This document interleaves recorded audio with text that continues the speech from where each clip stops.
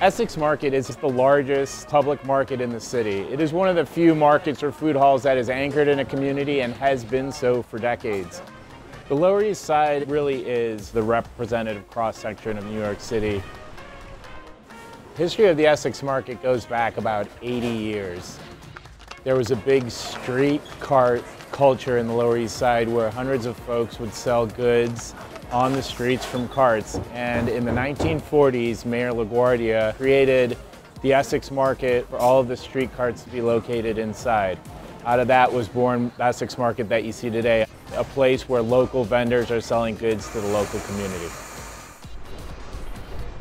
As you can see, we are in the midst of an active construction site. We currently have two buildings under construction that contain the offices at Essex Crossing. There is no real Class A product available in this area. That's one of the reasons we think the offices at Essex Crossing will be very in demand.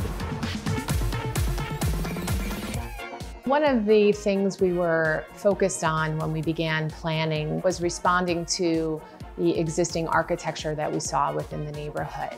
If you look at the exterior of 242 Broome and the rhythm of the window line, it actually mathematically mirrors what happens on the tenement buildings that you see in the surrounding neighborhood. The 41 vendors up here will be joined by another 30 vendors.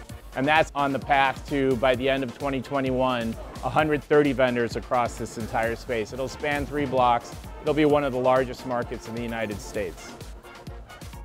70% of the vendors are either women-owned, immigrant-owned, or minority-owned businesses. Most of the people who work here are from the local community. That's sort of the nature of markets and what makes them great. When you're in a market, you know where you are in the world.